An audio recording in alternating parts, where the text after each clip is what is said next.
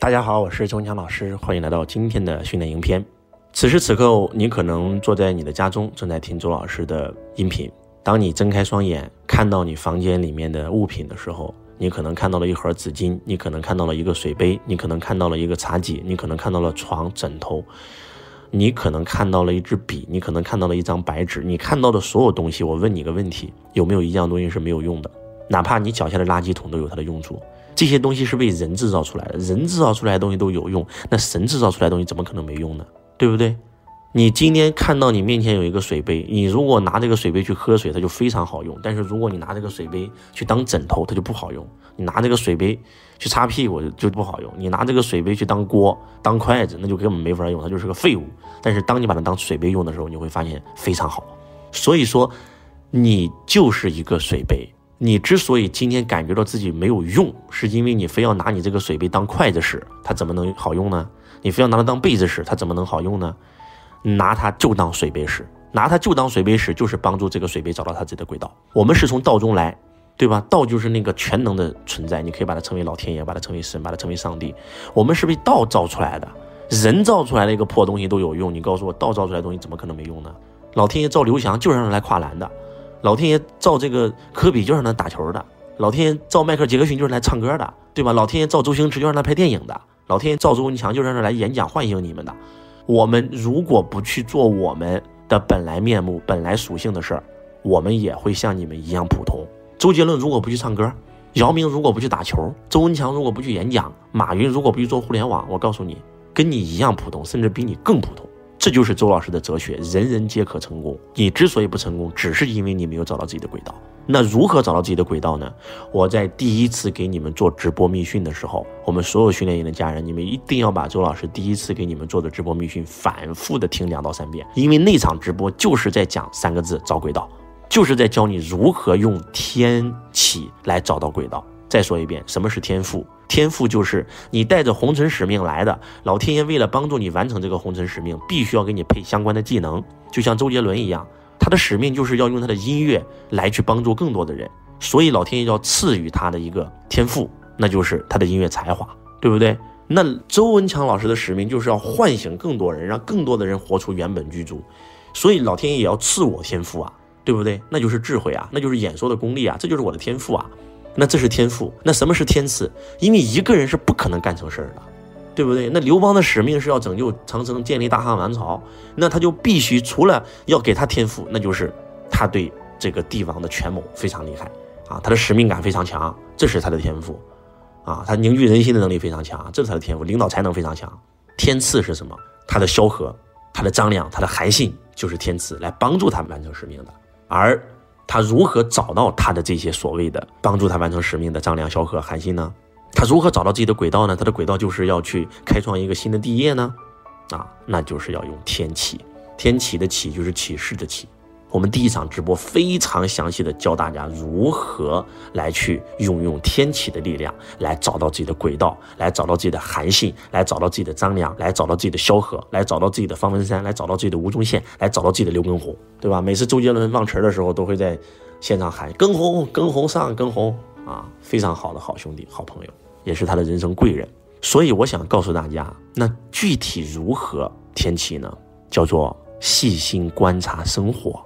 用第三视角，用上帝视角活着，带着觉知的活着才叫活着。不识庐山真面目，只缘身在此山中。你之所以看不到天启，听不到你高我的声音，就是因为你沉浸在生活当中了。你要跳出来，你要建立上帝视角。呃，给大家举个案例啊，我非常详细的在直播里面描述了我是如何天启的，对不对？周老师是个普通人，河南新乡辉县农村出生。没出生之前家里挺有钱，出生的时候家里就家道中落。在我十五岁的时候，父亲就破产了，我只能够去当一个普通的修车工，对吧？那个时候我认为全世界只有两条路嘛，好好上学找份好工作，这条路堵死了。咱家里没钱供咱读书，只能走第二条路，学门手艺找份好工作。学过补轮胎，学过电气焊，学过厨师。啊，然后呢，也学过开车床、锯床、磨床、铣床，一事无成，都没学会。到最后，我妈说只有第三条路可以走，去工地打工吧。我一进工地就干了两年，当过钢筋工，架过高压线，修过桥，盖过房子。就是我人生非常痛苦。当我非常痛苦的时候，哎，我遇到天启了。我在想，我以前在没有工地干的时候，我是孩子王，我从小都当班长，我从小就带着一帮孩子玩，我挺有自信的。结果我一到工地，我没自信了，为啥呢？因为我发现没有人跟我玩，他们年龄都比我大，我只有十几岁，他们都已经三四十岁、四五十岁了，没人搭理我。我那一刻无比的失落，我觉得啥也不是，我觉得自己无限的自卑，你知道吗？而就在这个时候，我看到了一个广告。那天鬼使神差，我从来不跟那些抠脚大叔在一起看电视，结果就那天。我就吃完饭以后回到宿舍，就陪那些抠脚大叔开始看电视了。结果河南的都市频道就播放了一个公益广告，是个公益广告，你知道吗？不是个电视节目，就是一个广告，啊，大概内容就是。哎呀，每一个人人生都应该是舞台里的主角。你之所以觉得这个角色唱的呃不好，是因为你唱错角色了。你本来是个唱刀马旦的，你非得唱一个小生，你就会很痛苦。就大概是这个意思吧。你知道那一刻，我看到那个广告以后，短短的不到两分钟，我浑身像触电了一样。你知道那一刻，我内心当中就有一个声音出来了，说周尼强，你之所以觉得自己无能，是因为这个地方根本就不是你的舞台，你不属于这里。你不应该在工地干一辈子。我在没看那个广告之前，我是想在工地干一辈子的，你知道吗？好好干，一天十七块钱，干得再好了，以后上高压线当一个师傅，一天可以赚三十五块钱。再干得好一点，一天可以四十五块钱。再干得好一点，可以当个包工头。我当时就那么想的，你知道吗？但是看完那个广告以后，就做了个决定，我一定要学习，我一定要靠脖子以上赚钱，我再也不要在这儿干了，我我一定要去想方设法，我要去学习。我当时就萌下了这个种子，就因为萌下了这个种子，我过年回到家，我那年赚了四千三百块钱，我就在我们家的集会上，就在我们家门口，看到一帮穿西服打领带的人正在发传单，上面写的河南省方圆电脑学校，知识改变命运，学习改变人生。等我看到以后，我就震撼了，我就问他们学费多少钱，他说刚好就是四千三。我那一刻我就发现学习电脑很热门啊，当时我说这不就是老天爷在帮助我吗？我回家跟我妈讲，我妈不同意。第一天刚把钱给我妈，第二天就把钱投出来交学费去了，你知道吗？就因为我上了方远电脑学校，我才不用去工地上班。我在方远电脑学校认识了一个姐姐，然后这个姐姐介绍我去洛阳工作。我在洛阳世纪电脑城卖 MP3 的时候，给客户下载歌曲，看到了一本电子书，就是《穷爸富爸爸》。那一刻，我的命运改变了。我升起的梦想，我要财富自由，我要创业成为企业家，我要投资成为投资家，我要成为亿万富翁。就那一刻，我的命运真的改写了啊！第一次是看到广告。对吧？做了个决定要离开工地，要去学习。然后第二次天启就是刚好碰到方言电脑学校，学费四千三，我去学电脑。我觉得这是第二次天启。第三次天启就是我在洛阳，然后看到了《穷爸富爸》那本书。我觉得这是第三次天启。后来因为我在洛阳干得好，郑州的老板就把我挖到了郑州。到了郑州以后，我见到了一个千万富翁，是一个来自深圳的广东人。我就在酒桌上采访他：“你是为什么成功的？”怎么成为千万富翁的？他说我小学都没有毕业。我说小学没有毕业怎么成功呢？他说因为我在北大清华上了两年学。我说北大清华怎么能考得上呢？不需要啊，冒充北大学生进去蹭课就行了。他告诉我怎么去北大，怎么去蹭课，我就埋下一个种子，我一定要去北大蹭课。后来我就去到了深圳，来深圳干了两个月，认识了杨老师。然后认识杨老师以后，我就去了北京。去北京就是为了学习，上罗伯特星级的课，然后就是去北大蹭课。我们在北大蹭了将近半年的课程，而在北大见到了理想，八零后的第一个亿万富翁。见到他那一刻，我就告诉我自己，我也一定是亿万富翁。见到了《商界》杂志的老总，给我发了一本《商界》杂志。我以前根本不懂什么是 IPO，什么是融资，什么是上市，什么是品牌，什么是 VC，什么是 PE 啊，什么是股权啊，然后什么是机制，什么是制度，呃，什么是使命、愿景、价值观，什么是 KPI 绩效考核，什么是使命、愿景、价值观考核，我根本都不知道，都是通过这本杂志认识的。我也不认识马云、史玉柱、郭台铭、王永庆、李嘉诚、黄光裕、乔布斯、比尔盖茨、马斯克，也都是通过这本书认识的。过了多年以后，就因为《商界》杂志，我天天看，天天看，连续看了五年。我看到里面讲了一个二零零八年金融危机啊，然后呢，有一个新的职业产生了，就是企业的心理咨询师，专门帮助企业安抚员工心灵的。然后还有一部电影专门讲这个故事，这个电影的名字叫《在云端》。我看到《在云端》那个电影的时候，我发现那个主人公天天坐着飞机上下班，去这个城市，去那个城市，哇，然后变成了这个超级 VIP 卡。对吧？我就想象着有一天，如果我能够这样上班该多好。结果不到几年就实现了。不到几年以后，我做了教育培训，就是全球出差，然后就变成了所有航空公司的超级 VIP。